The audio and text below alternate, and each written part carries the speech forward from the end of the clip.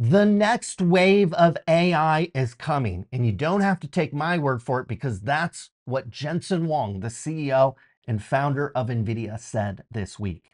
He was at Computex, one of the world's largest computer chip conferences. It's where all the leading chip companies from NVIDIA to AMD to Intel, they show off their latest bleeding edge chips that will be coming later this year and into the future.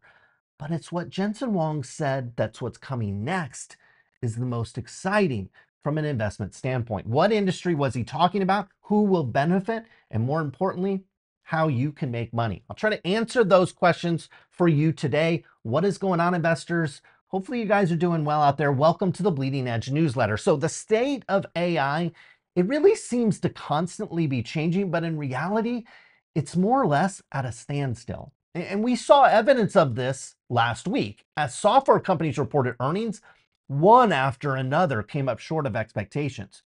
Sure, you have models like ChatGPT and Meta's Llama models and several others. They've gotten more sophisticated and maybe a little faster over the past year, but nothing groundbreaking.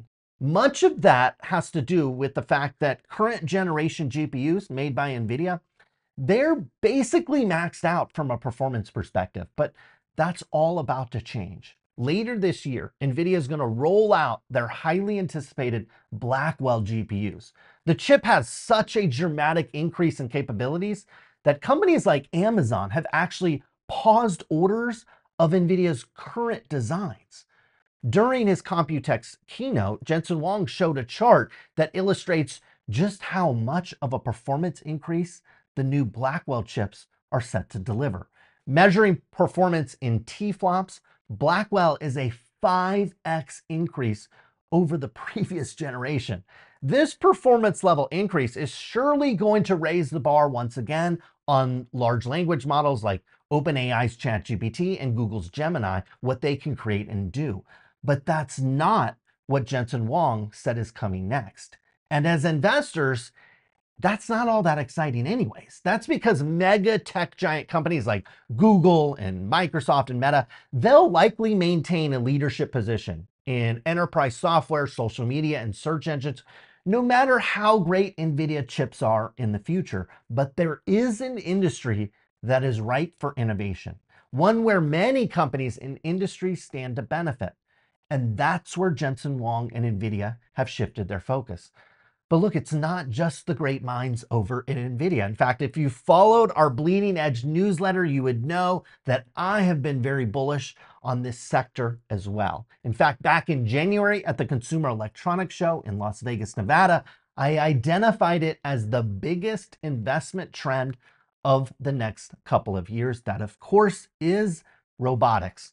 With the dramatic increase in performance, NVIDIA Blackwell chips will bring data centers just in a couple of months. Expect a tidal wave of advancements coming very soon. Large companies with an obvious inside track are your Amazons, Walmarts, and I believe Tesla as well. During NVIDIA's keynote, Jensen Huang specifically called out Siemens, manufacturer Foxconn, transport company ArcBest, Teradyne, and numerous other smaller startups as well. The aspect about robotics that is more exciting than the current AI investments is it won't just be software and hardware companies that are set to benefit. Everything from fast food restaurants to trucking companies stand to benefit. That's really exciting. And if Jensen Huang is correct, this is what's coming next. I'll be sure to keep you updated as this exciting trend is just now starting to take off. And as Blackwell releases later this year, we should see rapid advancement in this industry. That was the bleeding edge for today. I'll be back later this week. I'll see you then.